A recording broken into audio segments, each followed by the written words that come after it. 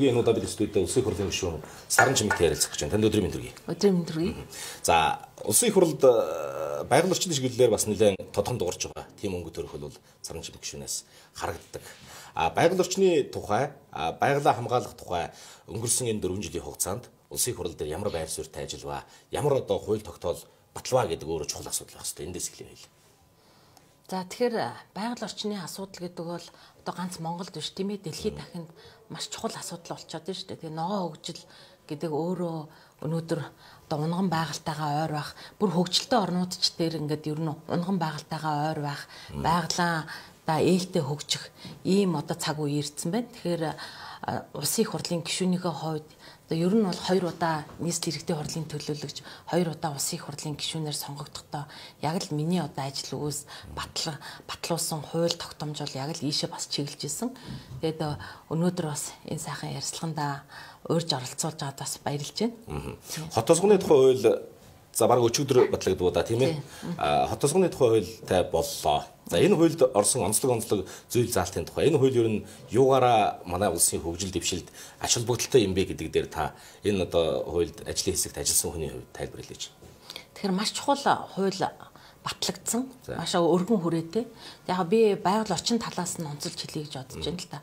Тэгэхээр хот тосгон өнөөдөр одоо жишээ нь говь нутагт ингээд замын үүд гэд өнөөдөр хотын статустай байхаар том хот тийм ээ хамбогд байна өмнө говийн цогтцээ байна. Өнөөдөр яг сумын статустай явж байгаа хгүй 70 задгад байна. Тэгэхээр энийг бол одоо хот болох бас боломж нэгдэж байна.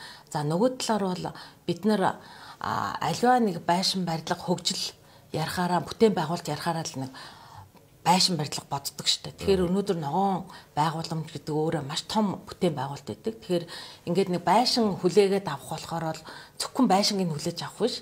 Одоо тодорхой ногоон байгууламжтай байх юм бол одоо яг энийг хүлээж авна гэдэг маш чухал заалт орсон байгаа. Стандарт бий болголоо гэсэн үг шүү дээ. Стандарт бий болгосон маш том одоо ногоон байгууламж бол олон зуун жилийн настай бүтээн байгуулалт дээ. Тэгээ ер нь иргэд тэ ойрхон эрүүл аюулгүй орчин бий болгохын тулд одоо тэр байшин барилга ч гэсэн тэр ерөөсөө бүгдээрээ ногоон байгууламжтай тодорхой хувийг эзэлсэн байх хэрэгтэй. Жишээ нь ногоон байгууламж нь одоо юу гэдэг бид нар одоо э, ер нь Улаанбаатарт баригдаж байгаа энэ одоо барилга байшингууд тийм ээ хөдөө орнуудад баригдаж байгаа энэ барилга байшингууд бол зөвхөн нэг байшин гэхээс илүү хотхон маягаар ийм хөгжлийн хөтөл рүүгээ явчлаа шүү дээ тийм ээ хотхон байгуулад байна. Тухайн орчинд одоо ийм бичил bijил хотхон а түүний хэдэн хувь нь ногоон байгууламж байх юм бэ? Гэдэг чинь өөр асуудал байх хэрэгтэй. Тэгэхээр 15-аас доошгүй хувь нь бол ногоон байгууламж байх хэрэгтэй гэдэг яг заагдсан мөртлөө мөрдөгддгүү байсан. Тэгэхээр энийг одоо бол ер нь бол цаашдаа яг маш тодорхой тусгаж өгсөн байна. Тийм мөрдөн а тэгтээ бүр яг тодорхой сайн тусгаж өгсөн байгаараа онцлогтой. Тэгэхээр Улаанбаатар хот төдийгөө манай одоо энэ хот тосгодууд маань өөрсдөө одоо ногоон байгууламжтай байх хэрэгтэй. Тэгээд сая тэр өмнө модны одоо бас үндэсний хөдөлгөөн бий болоод Монгол улсын ерөнхийлөгч санаачлаад үнэхээр том хөдөлгөөн болчлоо шүү дээ. Тэгэхээр энэ тэр модныхаа хүрээнд бол одоо 150 сая модыг л ногоон байгууламжинд зарцуулъя. А бусд нь бол одоо тэр ойжуулах, цөлжилтийг бууруулах, зурус байгуулахад ингээд зарцуулагдаж байгаа. Тэгэхээр энэ бол маш альва ажил бол ингээд бүх юм төлөвлөлттэй байх хэрэгтэй шүү дээ, тийм ээ. Тэгэхээр энэ төлтийн дагуу одоо энэ ногоон байгууламжууд нь хийгдэх ёстой. Ялангуяа одоо энэ уул уурхайн компаниуд 500 сая мод тарийгээд амлцсан байна шүү дээ. Тэгэхээр энийг яг хаана тарих уу гэд ирэхээр одоо ялангуяа би одоо говьс жишээ авъя л да өөрөө говь нутгийн уугуул одоо бас говь нутгийн хөгжлийн төлөө бас ажил үйлсээ зориулж явж байгаа хүний хувьд Тэгэхээр өмнгийн говьд ганц очиж байгаа гол нь бол онгийн гол байдаг. Тэгээ онгийн гол чинь цаашаа улаан нуур руу очдог байхгүй. Тэгээ эн чинь өөрөө өнөөдөр урсцсан багсаа заримдаа одоо ширэгчээд байгаа. Энэ цаг үед маш том хоёр том нуур байгуулад нуурынхаа хажууд том агропарк байгуулад агропаркаасаа одоо ингээд бойжуулах талбай хийгээд тэнцээ үндэсний ногоо газар тариалан эрхлэх боломжийг гаргаад одоо техник эдийн засгийн үндэслэл хийгдсэн байхгүй судалгаа нэгдсэн. Тэгэхээр энийг одоо түшгэлж бойжуулах талбай хийгээд одоо тэр 500 сая мод таригдсан амлалтсан байгаа хүмүүсийг тэнцээ нэг сайхан ингэж төлөлтийг хийгээд тусчуултын системийг хийгээд тэрийг одоо ингээд говь руу цэцэрлэгт хүрээлэн байгуулах бүрэн боломжтой байгаа юм. Таны амнаас э, говийн тухай яриа их олон сонсогдож байна. Та бол говийн нутгийн хүн. Говийн нутагт э, бэлчээрийн хүрэлцэн хангамжаас гадна усан хангамжийн тухай асуудал яригддаг. Бид нэр говийн нутгийн одоо тэнд малчад байж байна, мал байж байна, тэнд хүний амьдрал өрнөж байна тийм ээ. Уул уурхайтайгаа зэрэгцээд одоо оршиж байгаа говь бол үнэхээр одоо онцгой шүү дээ. Уул уурхай тэнд байна, мөн одоо нүүдлийн мал аж ахуй тэнд байна. А мөн нөгөө талд нь мал аж ахуйг одоо тэр говь нутагт бол эрчимжүүлэх боломж бол үндсэндээ маш хэцүү. Ийм онцлогтой. Тийм учраас бид нэр говийн усан хангамж дээр бодлогын төвшөнд яаж анхаарах ёстой юм бэ гэдэг дээр та Тэгэхээр говийн тогтвортой хөгжлийг ярихын тулд заавал усны асуудлыг шийдэх ёстой. Тэгэхээр гүний ус, говийн гүний ус гэдэг бол хизээч нөхөгдөшгүй, юутаач харьцуулшгүй одоо хамгийн чухал зүйл шүү дээ.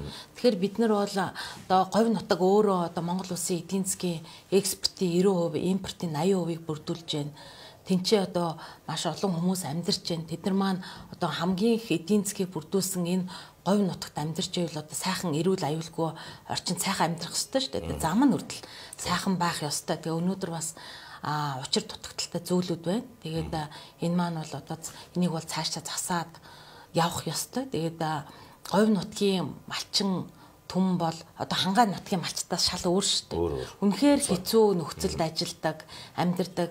Одоо сая улсын их хурал дээр өчигдөр гэд малчны тухай хууль батлагдаад одоо дууслаа. Тэгээд ер нь бол малчин одоо малчныг хамгаалсан малчны одоо эрх зүйн хууль эрх зүйн орчин байдгүй байсан. Тэгээд тэмүүлэн гүшүүн болон одоо миний би ороод энэ хуулийг одоо бас батл хилцүүлээд батлуулсан байгаа. Тэгэхээр энэ маань одоо малчтынхаа нийгмийн асуудал, эрүүл мэнд, боловсрол гэд тийм ээ маш тодорхой зүйл заалтыг оруулсан ийм хууль баталсан. Тэгээд нөгөө талаар бол одоо цөлжилтийн асуудлыг та өндлөө шүү дээ. Тэгэхээр цөлжилтийн асуудал гэдэг бол бас хамгийн тулгамдсан асуудал байгаа. Цөлжилтийг бид нар бууруулахын тулд одоо энэ ногоон байгууламж ялангуяа энэ бэлчээрийн талхталтыг одоо бид нар анхаарах ёстой. Тэгэхээр улсын их хурал дээр энэ бэлчээрийн хуулийг одоо санаачилсан гишүүний нэг байгаа. Тийм ч учраас бүх одоо Монгол улсын таван бүсэд очиж энэ хилцүүлгийг хийгээд одоо энэ бэлчээрийн хуулийг хилцүүлэхэд эхлээд бол маш их одоо эсэргүүцэлтэй толдог гэсэн. Тэгэд малчид мөн одоо газрын даамал одоо хүмүүстэй иргэдтэй нь хилцүүлээд ингээ явхад бол одоо энэ цаг үед бид нар одоо цөлжилтийг бууруулахын тулд зайшгүй энэ хуулийг хилцэх ёстой гэд ингээд саналыг оруулсан улсын их хурал дээр бол одоо хилцэгдсэн явж байгаа жишээ нэ. Улсын их хурлч бай, засгийн газарч бай, малчтын хоршоолох энэ боломжийг нэмэгдүүлэх. Аа хоршоог дэмжих ийм үндсэн бодлого бол ингээд хэрэгжүүлээд явж байна. Монгол Улсын засгийн газрын хүрээнд одоо ингээд говь нутгийн малчид хоршино гэхээр яах юм бэ гэдэг бас нэг асуудал байх хэвээр. За хангай нутагт бол одоо жишээ нь юу гэдгийг аж ахуйга илүү одоо хагас эрчимжүүлэх эсвэл одоо бүр бүтэн эрчимжүүлэх гэх мэтлэн ийм боломжийн тухай ярьж байна. Говийн малчид хоршино гэхээр манай малчид яаж ойлгох ёстой юм бэ?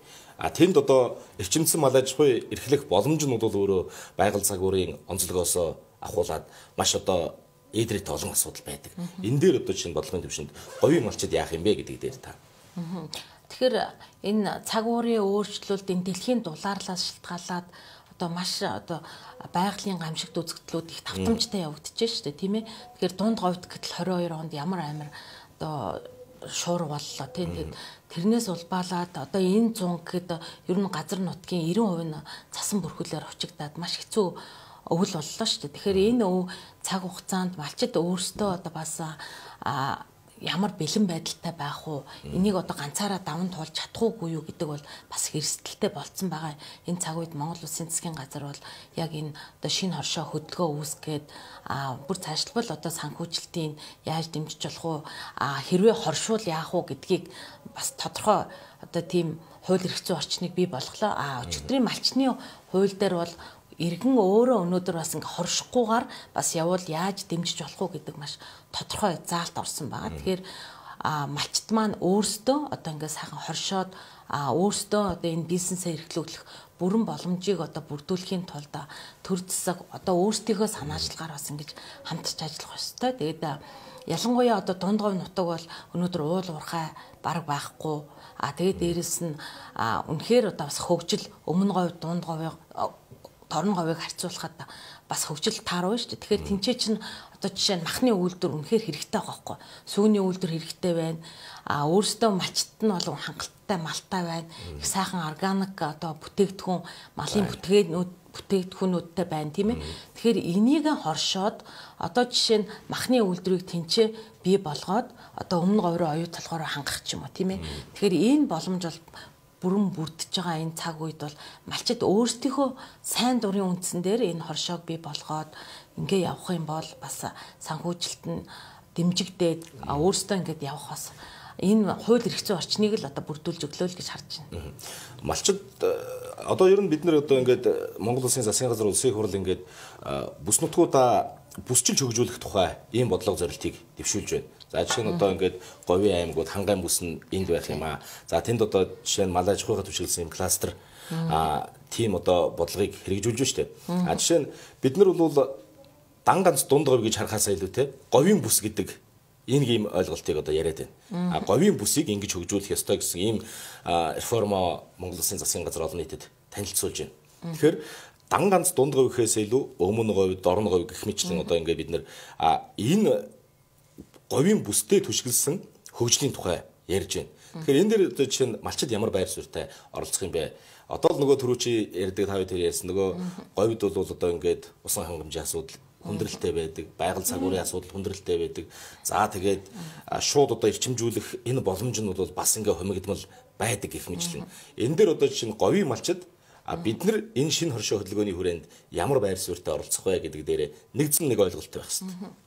Тэгэхээр бүсчилсэн хөгжлийн гол зорилго бол яг тэр бүсчилсэн газрынхаа онцлог тулгуурлаад тийм ээ одоо энэ эдийн засгийн хөгжлийг нь бүр сайжруулах зорилготойгоор одоо яг ийм бүсийн хөгжлийг ярьж байгаа. Тэгэхээр яг юу юугаар хөгжих болох вэ гэдгийг бол маш тодорхой одоо энэ шин сэргэлтийн бодлого алсын хараад 2050 тусгацсан байгаа. Тэгэхээр би түрүү бол жишээн дээр зүгээр хоршоон дээр бол дундговыг л жишээ авсан. Тэгэхээр говь нутаг өнөөдөр бүсчилсэн хөгжлөөр хөгжих юм бол үнэхээр давуу талтай. Энэ өөрөө маш том стратегийн газар шүү дээ тийм ээ. Өөрөө эдийн засгийн Монгол улсын одоо бас 90% маш одоо олон хувийг эзэлж штэ. Тэгэхээр дөрвөн бомбдтай байна. А бүр цаашлбал одоо энэ аялал жуулчлалыг хөгжүүлэх а жуулчд нь ирж очдог бараа таваар авчдаг. Өнөөдөр өмнө говийн одоо бомбдууд гэхэд ганцхан одоо нүүрсээ зөөхөл ийм л боломжтой байна штэ. Тэгэхээр энийг бол яг замын үүдийн хэмжээнд олон улсын стандартад одоо шаардлага хангасан ийм бомбттай болгоод ингээ явах юм бол одоо энэ маш эдийн засгийн үр өгөөжтэй болох жишээ нэ. Тэгэхээр малчт маань өнөөдөр одоо яг энэ бүсчилсэн хөгжилтөөр маш тодорхой хөгжих бүрэн боломжтой байгаа. Тэгээд миний хувьд бол улсын их хурлын гишүүнийхээ хувьд бол органик хуулийг одоо хилцүүлж батлуулсан. Тэгэхээр говь нутаг гэдэг өөрөө маш их одоо тийм нарийн олон янзын ийм эмийн ургалыг ургадаг. Тинчээ тэрийг эзэн мал маань өнөөдөр өөрөө маш одоо шимт хижээлтэй а яг үнэндээ зөв жирийн малтай одоо бас эрчимчсэн малын махтай харьцуулахад шал өөр байдаг. Тэгэхээр тийм учраас одоо энэ органик хүнс бүтээгдэхүүний хуулийг батлуулж чадсан. Тэгэхээр энэ хууль батлагдсанараа одоо тэр малчтын маань өөрсдийн одоо тэр бүтээгдэхүүн тэр мал мал махны одоо гарч байгаа энэ одоо бүтээгдэхүүн нь өөрөө зах зээлд өндөр байх бүрэн боломжтой. Гэхдээ манайд өнөөдөр яг энэ органик мөн үгүй юу гэдгийг бол одоо бас ингээд лаборатори байхгүй болчихсон байгаа. Тэгэхээр энийг одоо бид нар лабораторитой болгоод органик бүтээгдэхүүнийг экспортод гаргах бас бүрэн боломжтой байгаамаа.